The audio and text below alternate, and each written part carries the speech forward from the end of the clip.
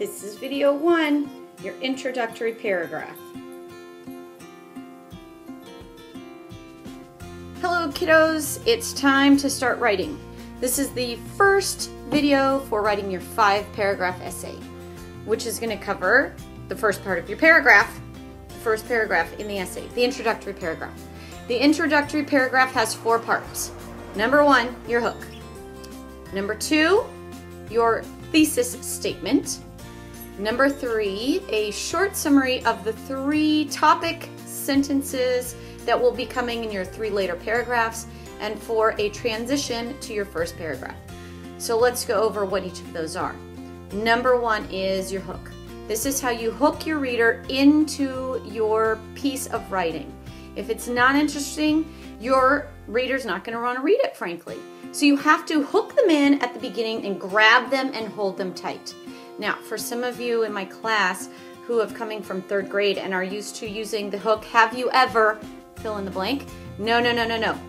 We are going to do much more exciting hooks and we will have a separate video for how to do those a little bit later on. So number one is the hook. Number two, your topic statement. This is your statement for your entire piece. If it is not clear, if it is not crystal clear, your reader doesn't understand what's coming. They don't understand the point you're trying to make. So you need to make sure that this is a clear, concise statement without any extra fluff added to it. Okay, don't, this is not where you start using your figurative language. So that's the second thing. Third thing, you have three supporting paragraphs coming later on, and each of them will have their own topic you need to list those three topics. It's perfect. Number three has three topics. So it's just, you're gonna do a triple threat sentence. Bam, bam, bam, one, two, three. And then fourth, you have your transition. This is for you a little more advanced writers. You should be transitioning your paragraph from one paragraph into the other. This means we don't just finish the first paragraph and we start the par next paragraph you lead them through. You have a nice little transition. You will also have a separate video for transitions a little bit later on, all right? Now, I'm gonna show you an example. Here's one that was written last year by one of my fourth graders, and you can see it. She wrote about Haifa. Believe it or not, Haifa is one of the largest and most wonderful city in all of Israel.